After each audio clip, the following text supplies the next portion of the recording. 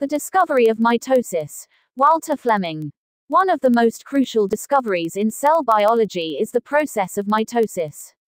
Mitosis is the process of cell division that allows the cells in our body to grow and repair. Before the discovery of mitosis, scientists believed that cells simply grew larger and then divided. However, in 1879, Walther Flemming, a German biologist, made a groundbreaking discovery that revolutionized the field of cell biology.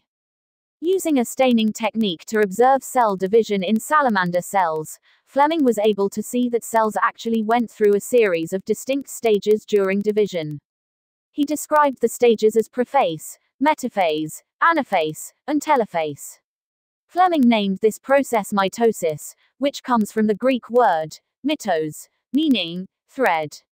The name referred to the thread-like structures that appear in the nucleus during the process of cell division.